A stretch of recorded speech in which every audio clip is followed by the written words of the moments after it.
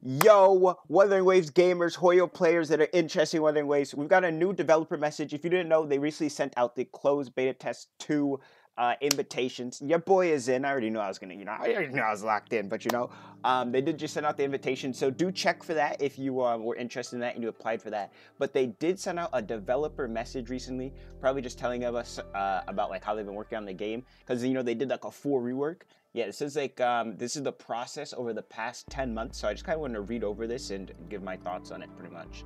So um, greetings rovers. It's been a while since the previous Wuthering Waves beta test. Okay.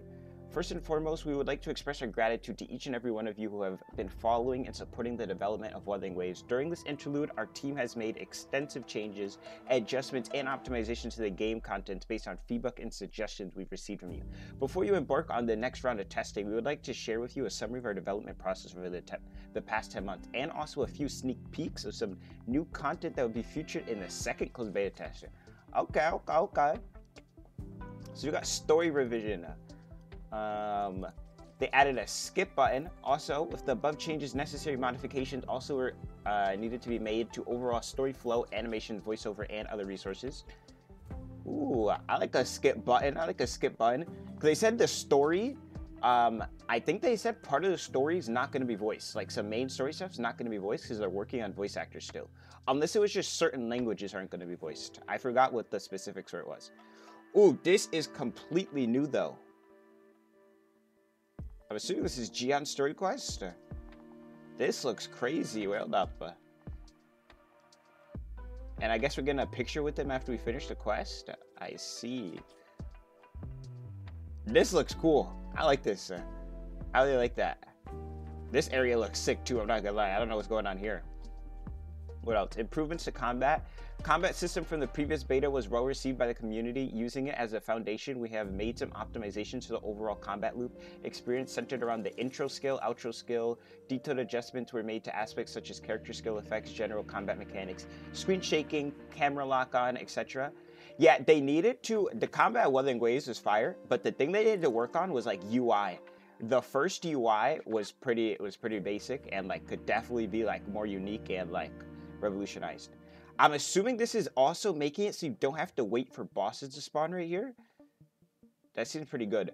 Another thing Wuwa needs to have, um, like for Genshin example, they need to make it so if you're farming for a character, it's not day-based. Day-based farming is super outdated. That needs to get changed.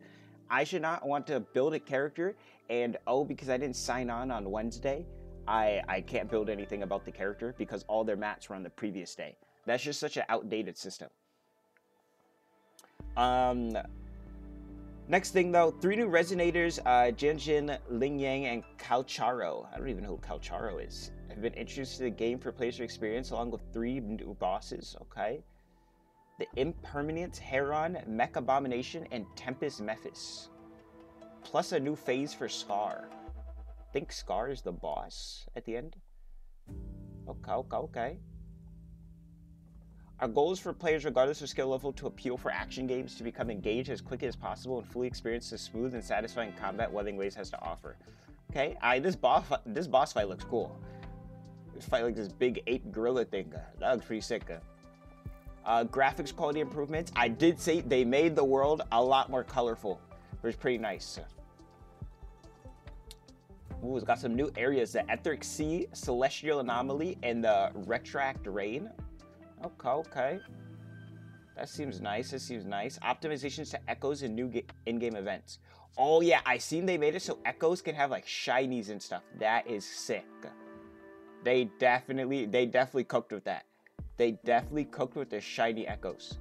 Um, compared to the previous test, we've included a dedicated tutorial guide for the ecosystem. That was also needed because the ecosystem, you didn't even know it was artifacts before. You had to like find that out. Um, while also lowering the difficulty of discovering and obtaining echoes. After obtaining an echo for the first time, the chance of re-obtaining it in the same Tacet Field will be increased the more you challenge it. Okay, the current Echo Kit adopts a tag-based system which makes for a versatile combination of strategies based on the circumstances.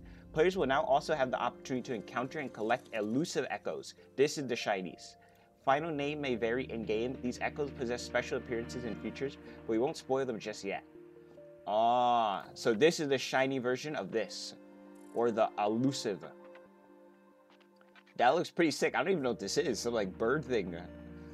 This looks like an Elden Ring enemy. I'm not gonna lie.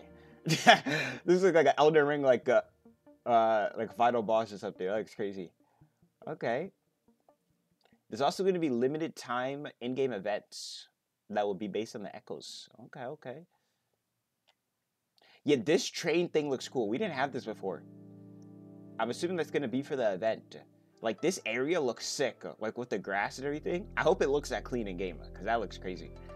Um, and then we got this last bit down here. As the game is currently in its development phase, some of the content players experience are still work in progress builds, which may lead to unpleasant game experiences. It's going to be a beta. Players will find some voiceover content for the character and storyline asset within the game. Yeah, this is what I was talking about earlier. Yeah. Rest assured, these contents are undergoing rigorous development as we perform further improvements to the game. Players participating in the beta test from mobile devices may experience increased power consumption, overheating, and other issues for certain devices, cross-platform performance, various UI interfaces, in-game text localizations, and existing voiceovers will also undergo further optimizations down the line. Okay, okay. Wuthering Waves is definitely cooking. I'm definitely hyped. I will be there for in two days streaming the beta. Very long stream, very very long stream. Trying out everything, seeing everything new. Um, doing Danjin gaming. Danjin's my favorite character. She's got like a berserker kit and I like Berserker kits. I would definitely be playing Danjin a lot, and I guess the other whichever five star I get, because uh, they gave you enough for a five star when you started last time after you got like the story. So I'm assuming they'll do that again. Um, thank you for being a part of the Wuthering Waves community. We hope to see you in the upcoming closed beta test. Yeah, but I'll be there. Twitch.tv slash Gib. Come through, and I'll see y'all later. Goodbye.